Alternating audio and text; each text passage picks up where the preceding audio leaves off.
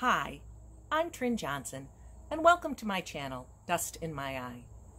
If you enjoy this video, please hit the like button. And if you'd like to see more of my videos, please hit the subscribe button. And don't forget to hit that cute little bell to receive notifications of my future videos. When the pandemic began in March, we went into lockdown, and my sister Maggie suggested we do a family art challenge on Facebook to keep our sanity. Being an artistically minded family, we all thought this might be fun. We posted reference photos or prompts five days a week.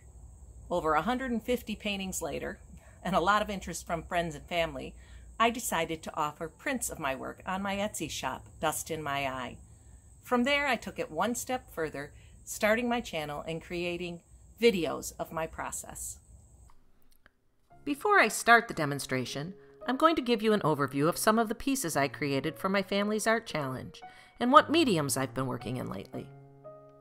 This is one of my most recent pastel paintings. I took a bunch of photos on a walk near our home, and they became some of our reference photos. This was one of our photos from another day. It's from a photo of the flowering cherry tree in my front yard, and it's painted with alcohol inks.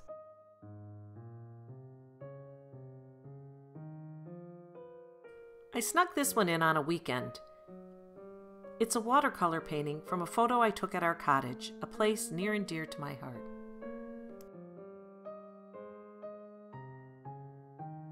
This was from a photo of an art installation, Thomas Dambo's Trolls, at the Morton Arboretum in Lockport, Illinois. It was Troll Day. My sister Anne took the picture. It's pen and ink.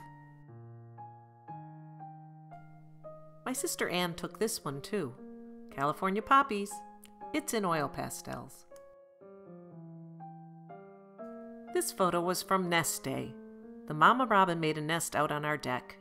It's in colored pencil. This was one of the choices on Lavender Day. My sister Ellen took these pics on a recent visit to a lavender farm. This was also a choice.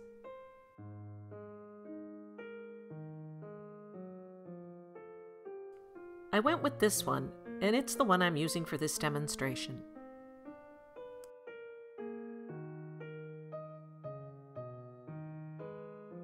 This is the watercolor setup I used for the underpainting.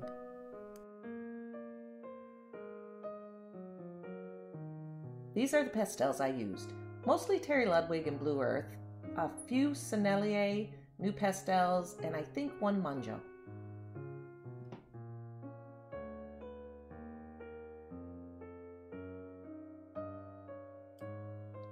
I like to tape my paper in the corner with the sticky side facing me. I do each corner and tape it down from the outside um, on a, like a hinge kind of taping. I find this works the best for me to be able to put the pastel anywhere on the paper that I want and still get the corners to stay down, especially when I'm using something like UArt. This paper is Clairefontaine Pastelmat in Sienna. I really love this paper, especially with a watercolor underpainting. I find that it really turns out beautiful. Sometimes I really like just the underpainting, but I do always go ahead and do my pastel work on top of it.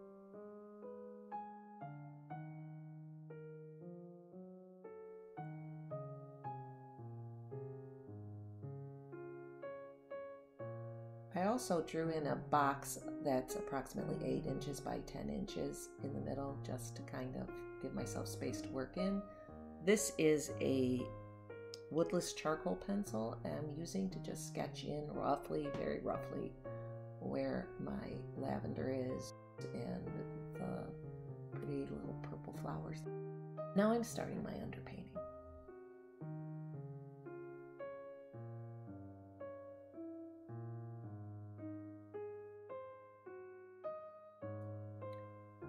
For this painting, I decided to stick with the colors that are actually in the painting for my underpainting, or a rough approximation.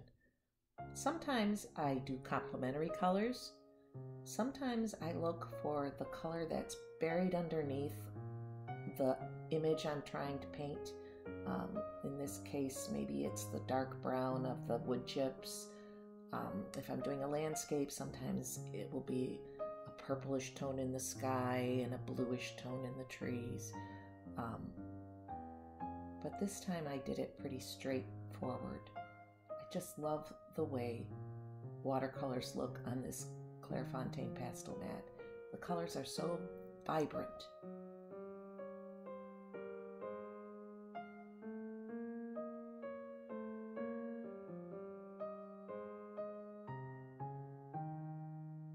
Now I'm painting in the flowers, um, but it's really just a rough approximation of where they're going to be because they kind of get buried before they come back out again. But this gave me an idea of where they were going to go. Here I'm starting with a dark, dark green.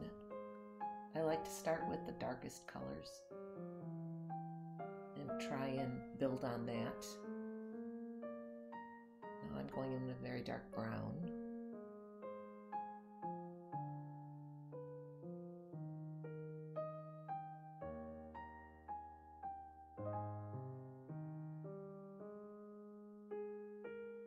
Some middle colors over top. This piece doesn't have any really, really dark areas. There's maybe a couple here and there. Get a nice layer of my purple kind of lavendery color in and some of the paler greens that are in the lavender stems.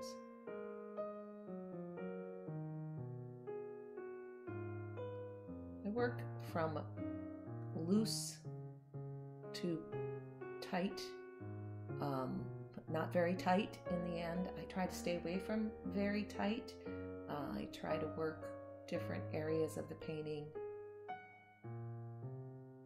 at different at all all over the painting at the same time not not just stick to one little area and detail it out um, i find that it's more homogenous that way and i don't have something that i've done a whole lot of detail on, which is more than I wanted to do, and then the rest of the painting doesn't go with it, or I have to get too detailed with the rest of the painting, and I, I don't really want to do that. I like it looser.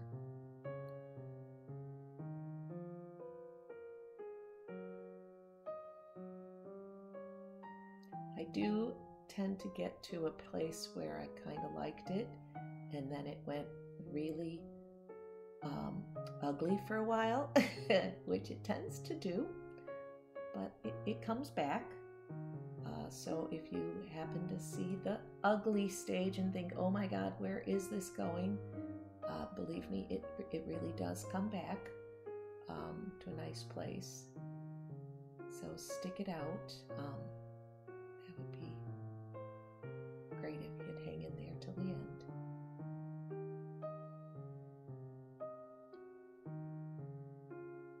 some highlights, a little bit lighter color, work my way up to the, the lighter tones in the lavender.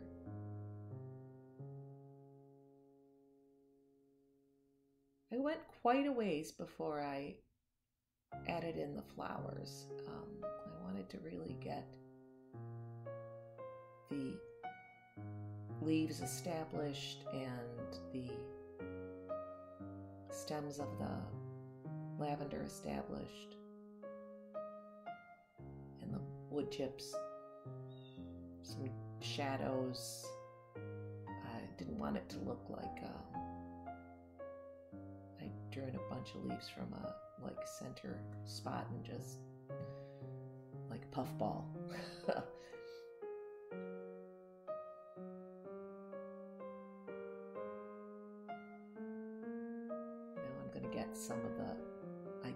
of where I'm going to put those flowers.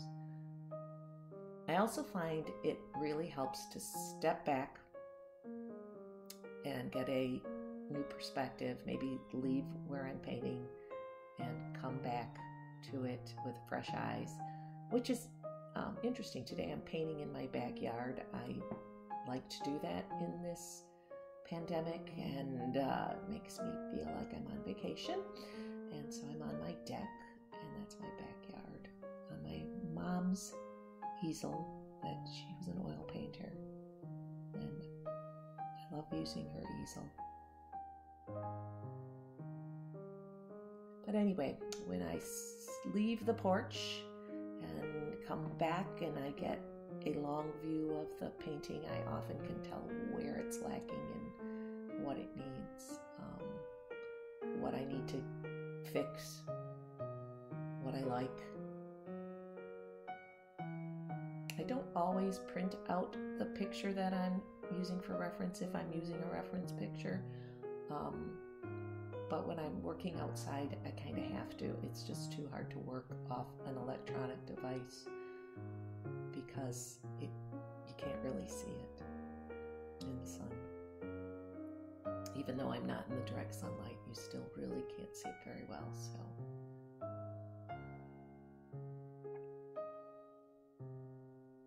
I discovered when I stepped back that eventually discovered that my flowers were a little bit on the big side, um, the big, the purple ones on the bottom. So I kind of came in and toned them down a little bit, made them a little smaller. Um, they're not all quite in the same places that they were in my original uh, watercolor part of the painting. Some of them moved I'm trying to work out how much detail I want in my lavender to make it look like lavender.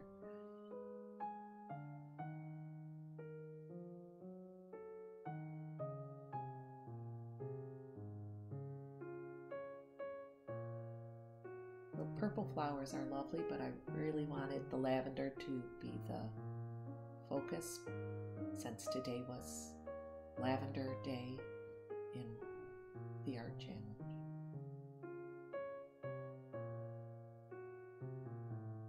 At some point here, I realized that the flowers in the back that were lavender were a different set of lavender that was behind another one of the spiky kind of um, puffball, for lack of a better term, plants.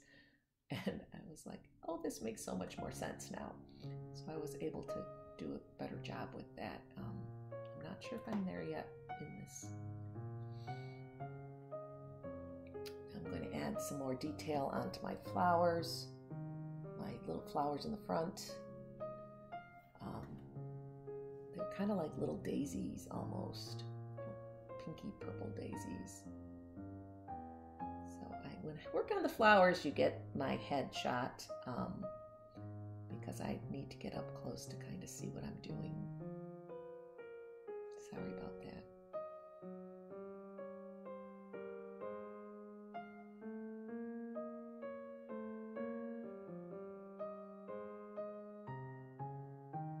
Trying to get a nice mix of wood chips without drawing all the wood chips in because I just don't want that much detail. I felt like there was a nice, rusty red underneath the plant back there. So I wanted to get that in, but I didn't want it to fight with the pinks.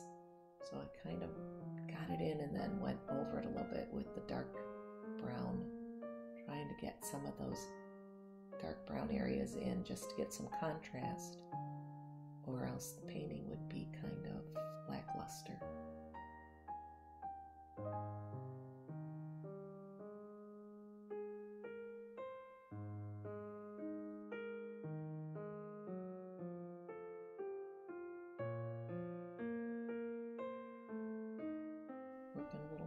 Detail on my little daisy-like things.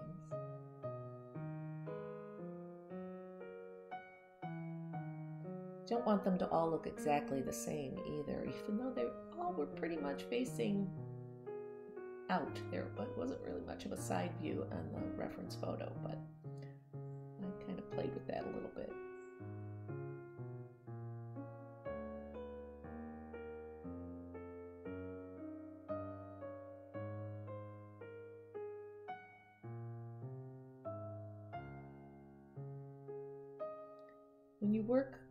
Loosely and want to work loosely, I can't emphasize enough how important it is to stand back to get a look at your at what you're doing from you know 10 15 feet away or to leave the room and come back and and see it with fresh eyes because you get so caught up in the detail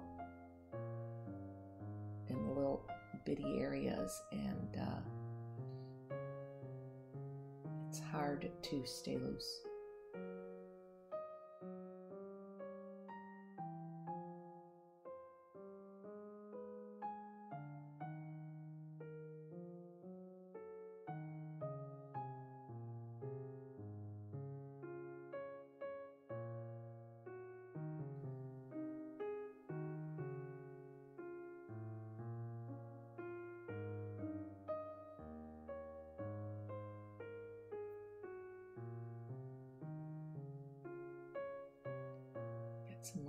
little white highlights in there, make those pop.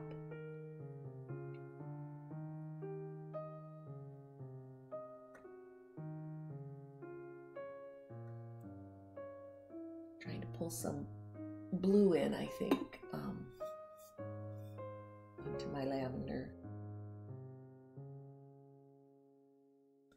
Was having a little trouble at this point with lavender, I had a lot of layers on and I wasn't able to get what I wanted. So I struggled with that for a while.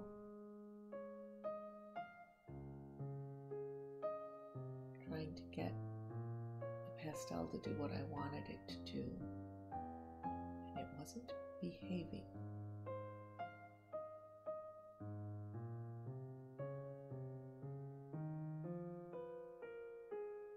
Also trying to get, there's two little pieces of the lavender that stuck out that I was trying to get without getting too fussy about them. I'm trying to get some highlights in there in my grasses,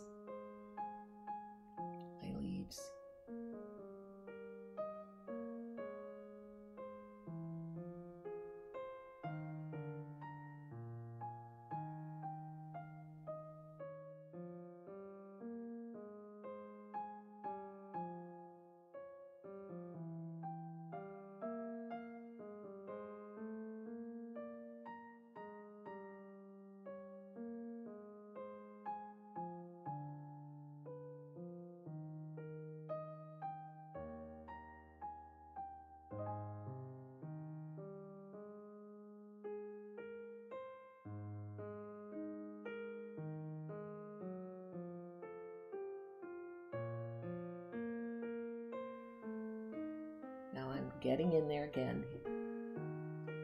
Getting a little bit more detail, but not too much detail.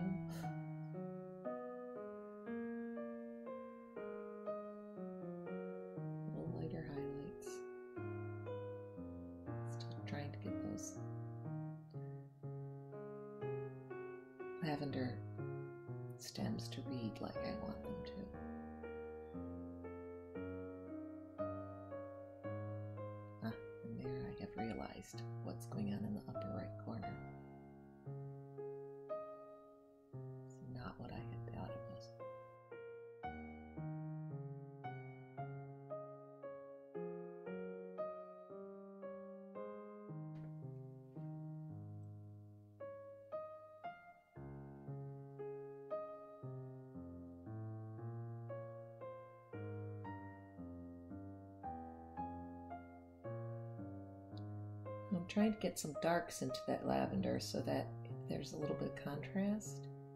And again, I was running into the paper not wanting to accept any more pastel in that area.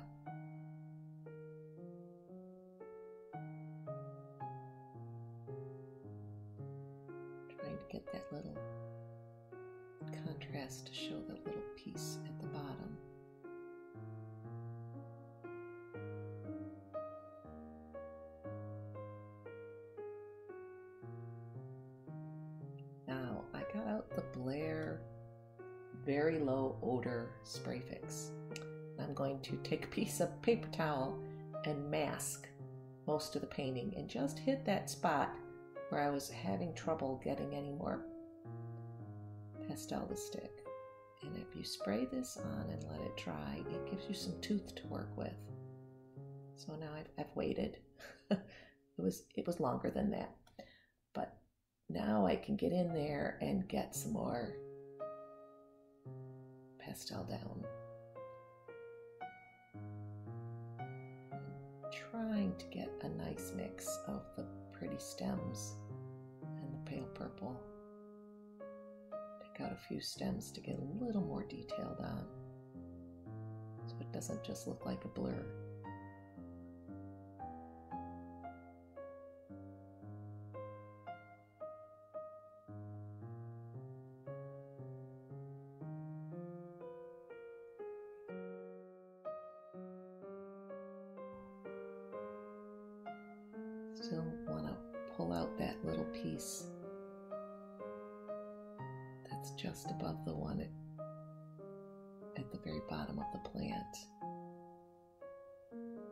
Got lost in the shuffle here.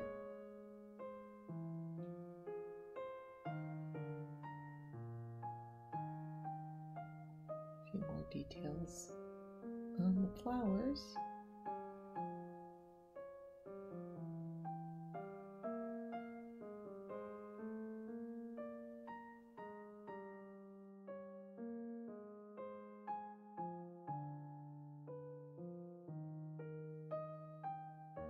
Good idea to step back and, and look and come back the next day or um, after some time, get a fresh perspective. You could go on playing with it for days, and sometimes you just gotta say, I'm done, and call it.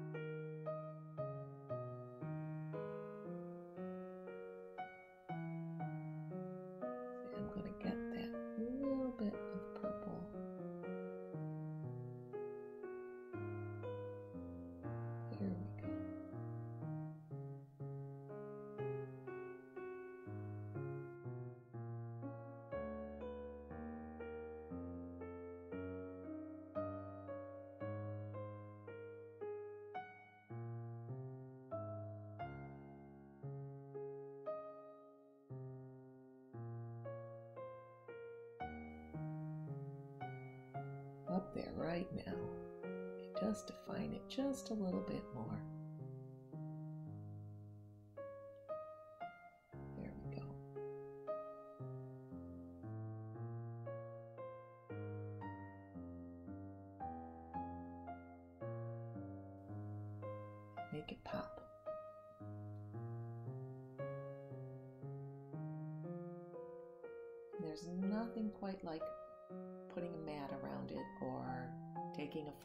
And eliminating all the flotsam and jetsam that's around the edge of the paper to make it really sing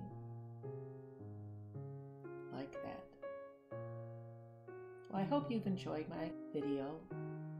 I'm new to this whole taping thing. I'm glad you followed through to the end. This is my setup out in my backyard just to give you an idea of where I was painting from pretty view I had. Please check out my Etsy shop, Dust in My Eye, where I'll have prints of this piece available along with prints of a lot of other pieces from my family's art challenge. Also be sure to check out my monsters and tiny monsters. Thanks for watching.